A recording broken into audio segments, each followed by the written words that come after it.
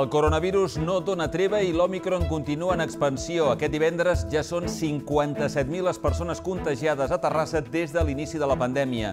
Són 6.500 noves infeccions des de dilluns i l'índex de rebrot s'acosta als 8.000 punts. Avui hem sabut que Terrassa va tancar l'any passat amb 224.387 habitants. Són les dades provisionals del padró municipal. S'entreveu un canvi de tendència i la ciutat recupera les dinàmiques prèvies a la pandèmia. Hi ha hagut més moviments migratoris i canvis de domicili. Pel que fa al creixement vegetatiu, és negatiu. Tot i que hi ha hagut un increment de naixements, continuen per sota de les defuncions. Així, Terrassa creix gràcies a la gent que ha vingut de fora de la ciutat.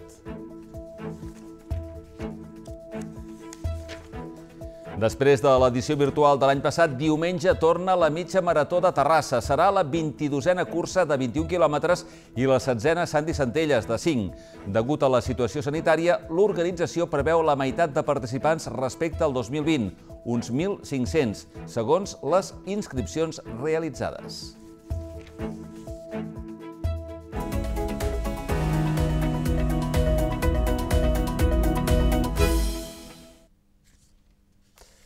Què tal? Benvinguts, bona tarda. Salut espera que a l'abril s'acabin les quarantenes i es pugui tractar la Covid com una grip.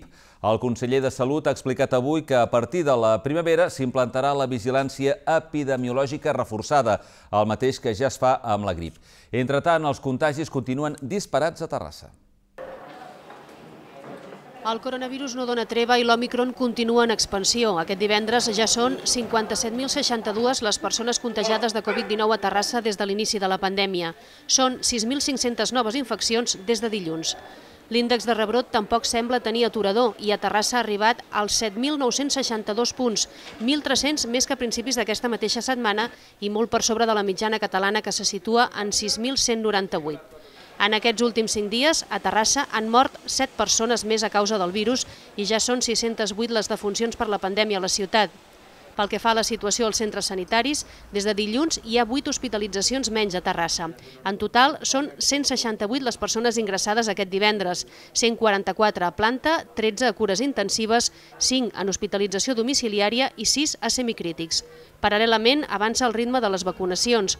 Aquesta setmana s'han posat la primera dosi a la ciutat 652 persones, 434 la segona i 4.566 la tercera. Són unes dades en la sisena onada de la pandèmia que tenen també els seus efectes a l'àmbit educatiu. La setmana acaba amb molts positius a les escoles de la ciutat, tant d'alumnes com de personal docent i d'administració.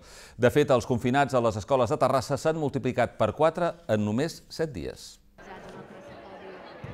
Les persones confinades als centres educatius de Terrassa s'han multiplicat per 4 en una setmana.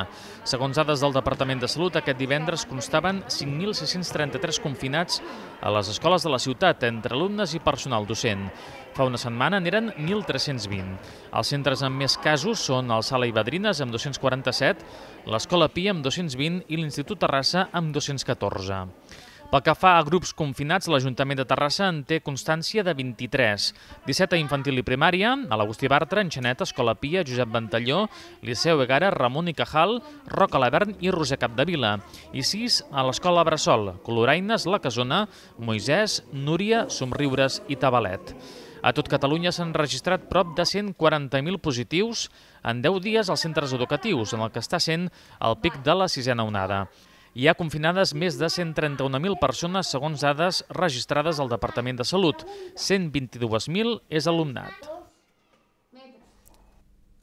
Canviem de tema. Terrassa torna a guanyar habitants gràcies als moviments migratoris. Creix la població i neixen més nens. La ciutat va recuperar l'any passat el pols demogràfic superat als 224.000 habitants. El padró registra una clara tendència a la recuperació gràcies a l'arribada d'aquests nous habitants. Terrassa ha tancat l'any 2021 amb 224.387 habitants. Són les dades provisionals del padró municipal, tot i que les xifres no seran definitives fins al març. Responsables municipals n'han fet una primera anàlisi en la reunió de la Comissió de Serveis Generals i Govern Obert d'aquest dijous. Diuen que s'entreveu un canvi de tendència i que la ciutat recupera les dinàmiques prèvies a la pandèmia. Hi ha hagut més moviments migratoris i canvis de domicili. Pel que fa al creixement vegetatiu, és negatiu. Tot i que hi ha hagut un increment en els naixements, continuen per sota de les defuncions. Així, Terrassa creix gràcies a la gent que ha vingut de fora de la ciutat. A la trobada també s'ha donat a conèixer un increment del 2% de les retribucions del personal funcionari i laboral de l'Ajuntament i les societats municipals de Garbia, Habitatge, Foment i de la Societat Municipal de Comunicació. D'altra banda, s'ha anunciat que aquest any hi haurà un increment de 20 agents en el cos de la Policia Municipal de Terrassa. El compromís és de 10 per any, però el consistori avança a les 10 del 2023. A aquests s'hi afegirà la cobertura de baixes i jubilacions. Finalment, l'Ajuntament s'adherirà a la xarxa espanyola de ciutats intel·ligents. D'aquesta manera es pretén impulsar la gestió automàtica i eficient d'infraestructures i serveis alhora que es millora la qualitat de vida de les persones a través de la tecnologia. Des del passat mes d'octubre, Marc Pintó és el primer inspector de la Policia Municipal de Terrassa. Té 30 anys i és llicenciat en Criminologia. El cos reforça així la seva estructura de comandament. Un equip de Canal Terrassa ha pogut parlar amb ell per conèixer les seves funcions. La policia municipal guanya musculatura amb la creació de dos alts càrrecs de comandament, un intendent i un inspector. Fins ara, al màxim nivell l'ocupava en solitari l'intendent major. A l'octubre es va incorporar el primer inspector del cos, Marc Pintó. Té 30 anys, és llicenciat en Criminologia i pertany al cos des del 2013, primer com a agent i els darrers anys com a caporal. Es crea així l'escala executiva de perfil més tècnic assumint tasques de certa enginyeria policial. Les seves principals funcions seran coordinar les quatre divisions del cos, dissenyar i desenvolupar projectes estratègics i gestionar la comunicació tant interna com externa. Una de les seves prioritats serà crear un nou model de treball operatiu per l'àrea de proximitat, un sistema basat en l'anàlisi de la informació per planificar els serveis, el que es coneix com a intel·ligència policial. És aprofitar aquest bagatge increïble de dades i d'informació que com a policia recollim diàriament, tant de les diferents intervencions del dia a dia com aquella informació de caràcter qualitatiu que els veïns i veïnes i els ciutadans ens fan arribar per múltiples vies, i aquest, aquest coneixement, que és descriptiu, en base un cop ens descriu una situació, una problemàtica, unes demandes, preparar-lo per a l'acció. És a dir, fer una anàlisi, fer una avaluació i de tot això crear una planificació del servei. A banda de formar part del cos de policia municipal, Marc Pintó és professor associat a la Universitat de Barcelona i col·laborador de la Universitat d'Elx i de l'Escola de Policia de Catalunya. Està fent la tesi doctoral sobre confiança policial. Puc teixir els ponts entre el coneixement científic, entre les universitats, entre allò que eh, la investigació sobre policia eh, indica, amb, el, amb la pràctica i la realitat del món laboral i del, del món professional, en aquest cas policial, no? i del contacte amb la ciutadania. Per tant, eh, poder trobar-me amb els dos mons, el món acadèmic i el món, i el món policial, permet eh, comprendre amb dues dinàmiques i teixir ponts, perquè han d'anar de la mà. Al febrer, un cop acabi la formació específica a l'Institut de Seguretat Pública, s'incorporarà el nou intendent Daniel Guillem. Serà el número 2 del cos, just per sota de l'intendent major i amb atribucions bàsicament d'estructura. Els dos nous càrrecs hauran de superar un any de pràctiques per consolidar la plaça. I una xifra, més d'un centenar d'usuaris en dos mesos de funcionament, tenint en compte que vivim en pandèmia, el nombre de pernoctacions que ha registrat l'Albert de Vallparadís ha estat tot un èxit. En aquest temps hi han passat eh, la nit voluntaris europeus, equips esportius i una agrupació cultural. Pel febrer i març ja han arribat noves reserves. Dos mesos després d'obrir portes, l'Alberg Vallparadís ha comptat 124 usuaris entre pernoctacions i utilitzacions de l'equipament. Tenint en compte la coincidència amb la sisena onada de la pandèmia, l'Ajuntament fa una valoració positiva d'aquest balanç crec que les dades avalen el projecte i la necessitat que té la ciutat de tenir un equipament com aquest alberg de, de joventut, no? perquè doncs, eh, en dos mesos del, del darrer trimestre del 2021 més de 100 persones diferents que l'han utilitzat, que hi han pernoctat i que l'han utilitzat també com a, com a espai social de, de la ciutat, les seves sales, crec que és una xifra eh, més que bona i, i, i més que potent. Els voluntaris europeus d'un projecte coordinat per la Víbria Intercultural són els qui van estrenar l'alberg al mes de novembre. Des de llavors hi han fet nit tres equips esportius i una agrupació cultural encara que darrerament alguns hostes han cancel·lat reserves a causa dels contagis de la variant Omicron, de la mateixa manera han arribat noves reserves de cara a finals de febrer i principis de març. És per això que la direcció de l'equipament es declara animada de cara a aquest 2022. Hem tingut cancel·lacions ara de, de cara al mes de febrer, molt properes, perquè evidentment estaven afectades per, per, per la situació sanitària, perquè eren col·lectius també d'infants joves i bueno, ara aquest col·lectiu està sent bastant castigat, no? però ja tenim reserves també, per una altra banda ens han vingut reserves noves, eh, de cara al finals de febrer, al març, on suposo que la gent també té perspectiva de que la situació millori i també estem entrant noves reserves. Per tant, estem, estem animats en aquest sentit. El ritme tranquil dels dos primers mesos en funcionament ha favorit l'adaptació dels treballadors de l'alberg, provinents de Prodis i Fupar. Les dues entitats gestionen l'equipament a través d'una unió temporal d'empreses a qui s'han assignat aquesta tasca durant quatre anys. D'aquesta manera, l'alberg Vall Paradís compleix també una funció social, facilitant aquests llocs de treball a persones amb diversitat funcional. El Tribunal Suprem ha rebutjat tots els recursos presentats contra els indults dels líders independentistes, entre ells el de l'exconseller terrassenc Josep Rull. La justícia entén que cap de les persones que van presentar els recursos està legitimada per exigir accions legals en contra. Només ha acceptat les al·legacions de l'advocacia de l'Estat. Els recursos havien estat presentats per l'entitat Convivència Cívica Catalana, líders polítics de Ciutadans, del PP català, Vox i l'exdelegat del govern espanyol a Catalunya, Enric Millo. El passat estiu, el Tribunal Suprem ja va suspendre cautelarment els indults, com demanaven Ciutadans i Vox. Buenos días. Eh, bueno, le voy a preguntar algo muy rápido. Enric Carrera continuarà quatre anys més al capdavant de l'Intexter, l'Institut d'Investigació Tèxtil i Cooperació Industrial de Terrassa, organisme adscrit a la UPC. En aquest eh, segon mandat, Carrera vol actualitzar el pla estratègic i consolidar la captació de talent, entre altres objectius. Enric Carrera ha estat reelegit director de l'Intexter, l'Institut d'Investigació Tèxtil i Cooperació Industrial de Terrassa. Carrera ha pres possessió acompanyat del rector de l'OPC, Daniel Crespo, i la secretària general de la Universitat, Anna Belén Cortines. Aquest és el segon mandat en el que Carreras encapçalarà l'Intexter, després d'haver-ho fet també en el període 2018-2022, marcat per la pandèmia. Tot i les dificultats creades per la Covid, en aquests anys Carrera ha tirat endavant un pla estratègic per rellençar aquest centre. Ara, el director de l'Intexter demanar l'ajuda de les administracions per enfortir els centres tecnològics tèxtils de cara al futur. Proposar a l'administració del nostre país eh, un pla estratègic de futur dels centres tecnològics tèxtils, en el qual l'Intexter ha de jugar un paper rellevant i hem d'aconseguir, sobretot, un canvi d'escala. Si seguim com fins ara, doncs farem una tasca important, però el que cal és un salt qualitatiu i això no, es, no, es, no ho podrem fer-ho mai sols. Per al nou mandat, Carrera vol actualitzar el pla estratègic, consolidar la captació de talent i potenciar les plantes pilot de depuració d'aigües residuals i els laboratoris de filatura, tissatge, no teixits i nanofibres. Actualment a l'Intexter hi treballen 35 persones entre personal docent i administratiu.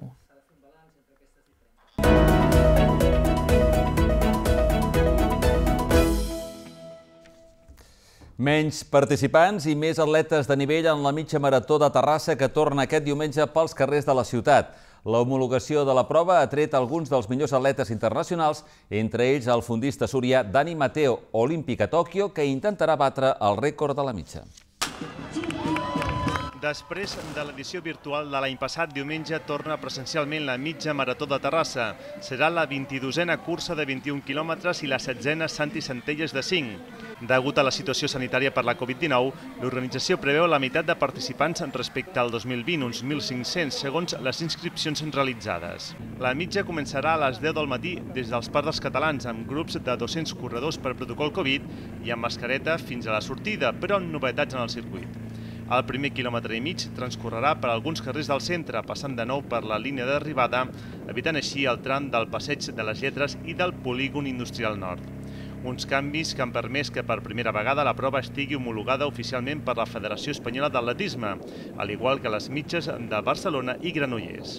La homologació ha estat un punt d'atracció per a alguns dels millors atletes internacionals. Encapçala el cartell el fundista surià Dani Mateo, olímpic a Tòquio, que buscarà batre el rècord de la prova establert per Carles Castillejo amb 1.0330 al 2016.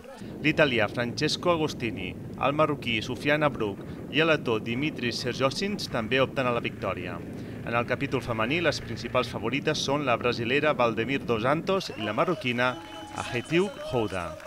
Un quart d'hora més tard es donarà el tret de sortida a la germana petita, la més popular, la Santi Centelles de 5. També hi ha previst atletes de nivell en aquesta distància, com el campió paralímpic de 5.000 metres, Yassin Ouhadi. Una quinzena de grups de cultura popular amenitzaran la jornada.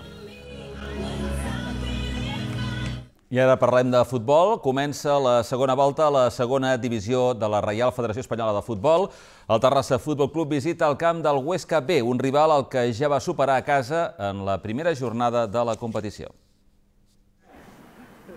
El Terrassa inicia la segona volta a la segona ref visitant diumenge el filial del Huesca, un equip de la part baixa de la classificació, però que s'ha reforçat i que la passada jornada va completar el seu millor partit en derrotar 2 a 0 al Cerdanyola. No ve la classificació amb 23 punts a 4 dels jocs de playoff d'ascens, el conjunt de Jordi López confia en seguir la ratxa iniciada Egea per sumar la segona victòria consecutiva lluny de Can Anglada. Sabem que no serà senzill. Al final juguem contra un rival que està fent les coses molt bé, ve de la seva ve de fer el seu millor eh, partit de la temporada i sabem que serà complicat. Hem treballat molt bé durant la setmana i, i l'objectiu és aquest, eh, tornar d'Osca amb els tres punts. És un equip que té jugadors de molt talent, eh, és un equip eh, molt jove, evidentment, eh, i que acostumen normalment a fer les segones voltes molt millor que les primeres, eh, perquè són jugadors que ja han agafat aquesta experiència de la categoria, ja s'han adaptat, a més són jugadors de, de, de, que tenen eh, molt talent, i, i cada vegada el van exposar més. L'altre dia eh, va ser segurament el millor partit que van fer de la temporada i, i on van estar a un nivell molt alt. Per aquest partit, el tècnic del Terrassa recupera efectius i només té la baixa de Carlos Martínez. Mamà podria disposar dels seus primers minuts a l'espera que pugui aterrar el seu germà Sanku en aquest mercat d'hivern. Volem un davanter, volem un davanter perquè la, la, la baixa de Carlos eh, ens ha afectat moltíssim i, i necessitem cobrir aquesta eh, posició i Sanku, doncs eh, s'ha parlat de Sanku, però ja et dic, és que Sanku no és jugador, o sigui, és que té una situació al Lleida eh, pues que, és, és, que no sabem què passarà. Eh, pot quedar lliure o no pot quedar lliure. No podem jugar de, tota una carta en el sentit de, de, de, de, de i si després, què passa? Ens quedem sense jugador? Pues estem mirant altres opcions, evidentment.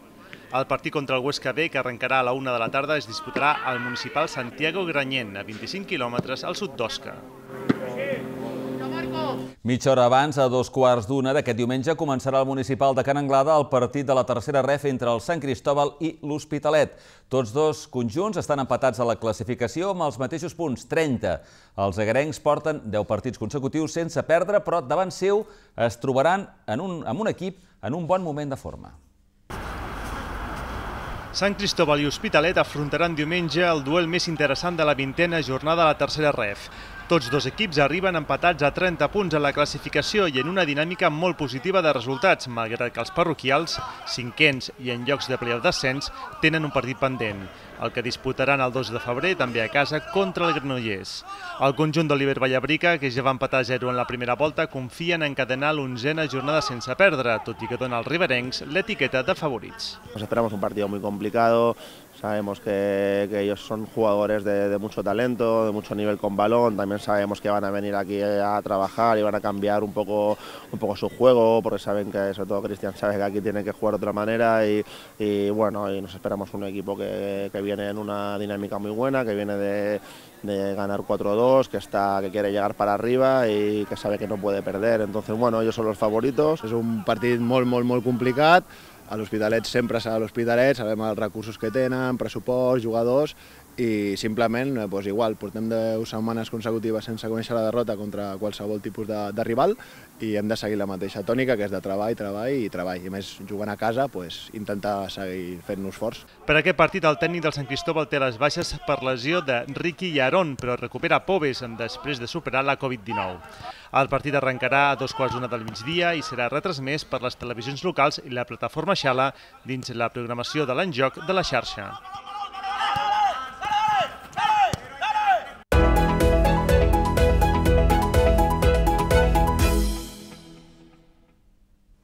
La Generalitat de Catalunya ha reconegut la tasca de la Fundació Privada Provis amb el Premi Prestigi 2021 d'Artesania Catalunya. El reconeixement és per la seva llarga i exitosa trajectòria en la inclusió de persones amb discapacitats diverses, mitjançant la iniciativa històrica del Taller del Llibre. El projecte té per objectiu elaborar productes d'enquadernació artesanal de qualitat i aconseguir la integració social, laboral i ocupacional d'aquest col·lectiu, oferint-los a través del taller la possibilitat d'aproximar-se al món de la cultura i l'art i alhora assolir l'aprenentatge d'un ofici. El guardó a Prodi serà lliurat el proper 26 de gener en el transcurs de l'acte dels Premis Nacionals d'Artesania 2021 que es farà al mateix Palau de la Generalitat, presidit per Pere Aragonès.